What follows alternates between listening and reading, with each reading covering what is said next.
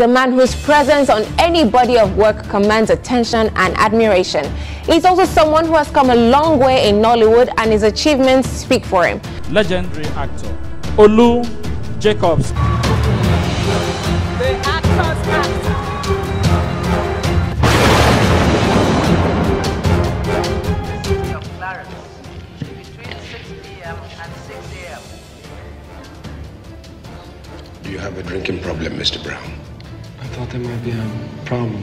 Water. There is.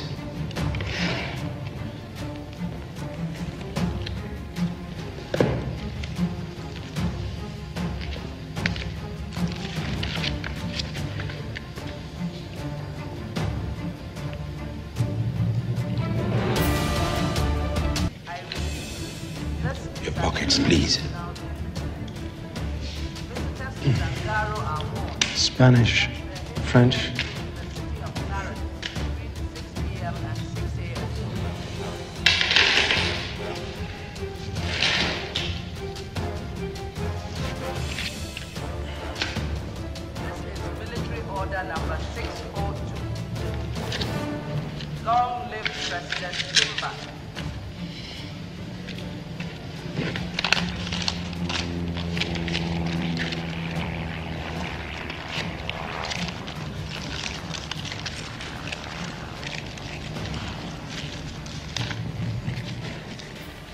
Airport tax.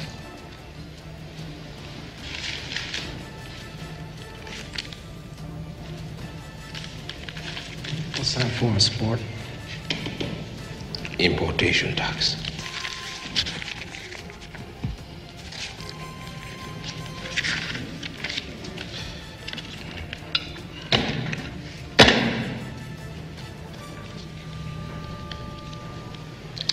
Welcome to Zangaro. I remember after fighting or wrestling or um, avoiding my father, I left for England without him knowing. I got to England and sent him a letter that I had gone because he didn't want me to go. When I finished uh, drama, I couldn't get a job. Why? Because I was not a member of Equity. Equity will not give me a job. They will not give me a card because I didn't have a job. It was like that. There was no answer. I didn't give up. I, was, I carried on taking classes. Then a friend of mine phoned one day, we were talking, and he mentioned that the next day he was going for an audition. I snapped in. I said, Can I come? He said, "Ah, well, you think you can come? They always have a list. So if you don't, uh, you know, if, they, if you're not there, they just kick you out. So well, let them kick me out. Hopefully, they give me a chance to try myself. And I went, I got there. The, the day of the audition, I was, uh, it was 8, 8 o'clock. I got there at 7. I got there at 7. At around quarter to 8, a young man came in. He, was, uh, you know, just said, said hi to me and went, went in. Then came back with this, you know, really frantic with a paper and pencil. Said, please, put your name there and your telephone number. I Put my name. I became number one on the list.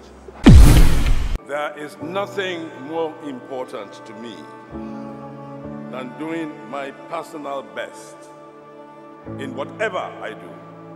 As a father, as a husband, even as an actor.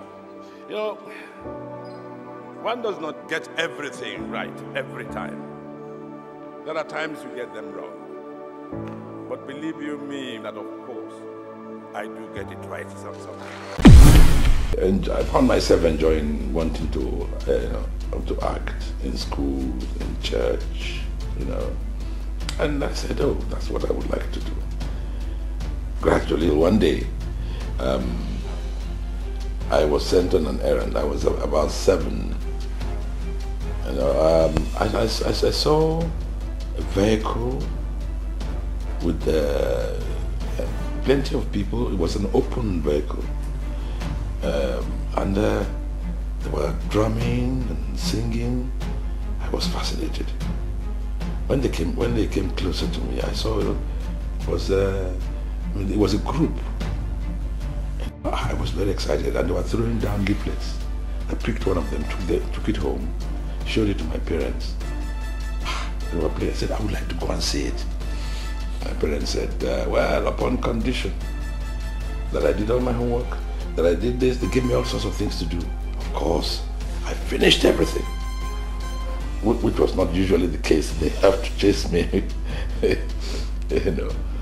When I finished, then they, they, they, they, they agreed and we, and we went. When we got to the theater, I saw people. Ah, it was wonderful. People, they all laughed.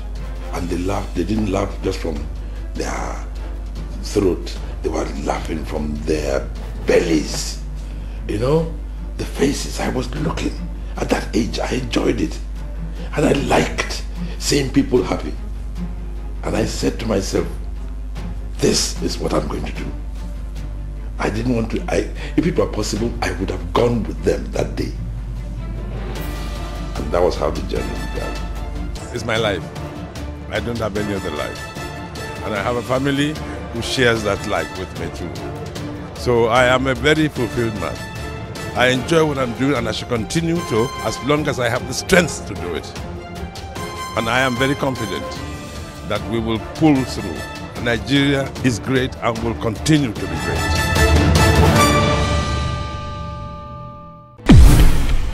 It was, it was accepted like my parents did as a hobby that you did after work.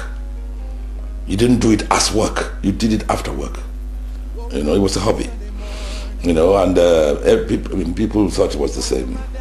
You know, but when a lot of Nigerians came came to England in the 60s and 70s and saw, you know, people, professional actors, and um, the only television company was the NTA. NTA was government.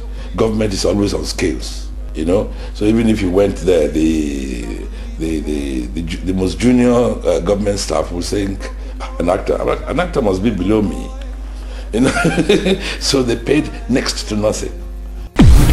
When I uh, grew older and I told him that was what I was going to do, he said no. He himself, a master drummer and a dancer, he was never a professional. He was, a, you know, but he was known and uh, respected. He said, you didn't have to go. You can do it as a part-time. I said, but in other parts of the world, they do it as a profession. He said, no. He said, no, he didn't agree. So I didn't argue.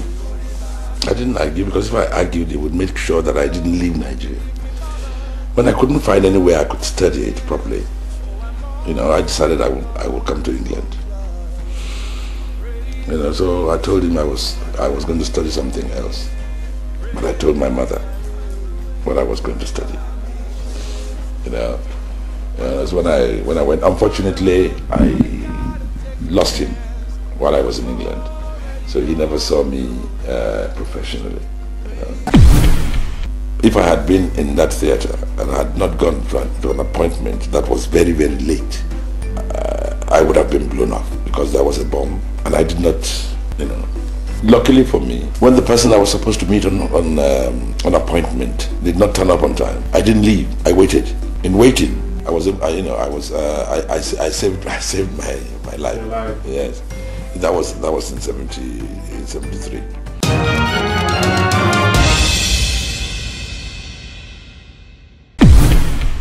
Um, so I stayed in England and I for 21 years Yeah.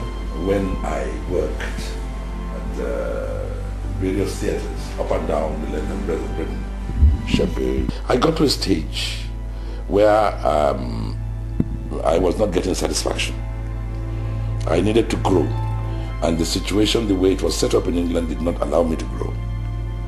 I needed to grow, so I said, well, it's better for me to go home, help in the development, so that my the, generations coming behind me will not suffer what I'm suffering. You know, if by the time I go, all I can achieve is a solid foundation, then it will have been worth it. In 1980, I began what you might say, the, the uh, preparing for the return. I started making visits from 1980, 81, 82, 83, 84. I was invited at the beginning of the year to help start a program called Second Chance in Nigeria. And I started that. Uh, we were supposed to from April to July. By November, we still hadn't we still hadn't got it properly together. So I was still working there. My agent rang me, panicking. Said they've been they've been calling calling me and they wanted me to come and I, I didn't want to come. Roman Polanski was doing a film that he wanted to wanted me, wanted to see me. So in November I told them at NTA I must go. I was supposed to finish in July, you know. So they, they thanked me and I left. And I got uh, got to uh, London. Uh, Roman was in Paris. So I went to see him in Paris. He was curious. He said, oh, don't you want to work with me? So I've been waiting for you. So I apologized to him and I said, I was asked to come and help start a program by my government. Oh, he said, really? I said, ah, well, how did it go? Well, I said, well, fine, thank you. He said, good. Okay, okay, forget, forget that you delayed me. I'm, I'm delighted. But this is very good. You know, he appreciated the fact that my country wanted me to do something. Yeah. yeah. You know, and for that he forgave everything. Yeah. I had to try. If you try and you don't succeed, you try and try and try again. That has been the story the last 20 years. We, we suffered all sorts of indignation, but we did not give up. My friends, my friends didn't want to know me anymore. You know, they were they didn't even want to see me. Their wives hardly say hello when they saw when they saw me and my wife. But we were they didn't realize that we are very sufficient. You know, we were sufficient. we were we were accommodating them. They you know they don't know what they're missing. They don't know. So we carried on with our work. And now those people are now phoning regularly. Uh, well, your, your, your, your son wants to act. It is you that, you know, you can talk to him. You know why? Because now Nollywood can make some money. Olu Jacobs wasn't born with a silver spoon in his mouth. He was a typical village boy who knew what he wanted right from when he was a young man. My advice for the younger ones is that make sure you know what you want. And when you do, pray that you recognize it when you see it. That you want to go into entertainment does not mean that you are an actor. We have been honoring other parts of the creativity. Is it costume? Is it lighting? It camera? You don't have to be in front of the camera to succeed. I, I, I think uh, a lot of talent abides in, in Africa. We are very, very talented. We are talented and we are not afraid of challenges because our entire lives have been challenges. And we, are, we live with challenges. It's ours. So don't give up. Do what you do as an exercise every day. The repetition of an act makes its performance almost automatic. Go, keep going. People will laugh, they will snigger. You're not working with them, you're, on your own. Do it every day, every day, and it becomes part of you. Don't give up. Work hard.